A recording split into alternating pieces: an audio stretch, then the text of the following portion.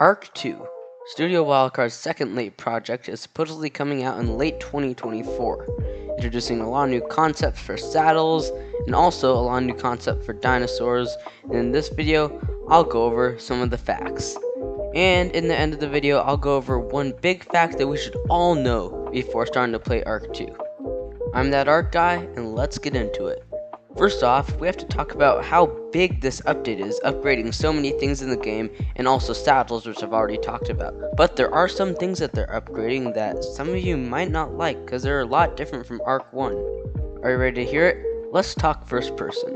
You know, we all love it, it makes Ark more immersive, and it's going away in Ark 2. They say that Ark 2 is going to be strictly third person. And also, wanna know why Ark 2 is so delayed? It's because the developers don't know how to use Unreal Engine 5, which, is what they're using for Ark 2. And also, when I heard that it was third person, I was like, well, you know, maybe you can change it, but guess what? It is strictly third person, which means that it can't even be changed to first person. And also, let me introduce my very new, very special new sponsor, the subscribe button and the like button. They're both my sponsor.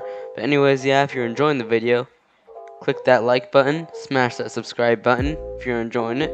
And also, as I promised, the final piece of information that I have is that Ark 2 will not be on PlayStation. Can you believe that? It will be on Xbox, but it won't be on PlayStation. And this is for all you PlayStation fans out there, because I think this is a complete scam. I mean, why have it on Xbox but not PlayStation? I mean, this doesn't really affect me all, because I'm playing on Xbox myself, and I have a pretty good setup. I have a Series X, so it's going to come out on Game Pass for me also. So basically means I only have to pay for the $1 monthly fee for Game Pass, not the whatever unholy price that Ark 2 will be probably.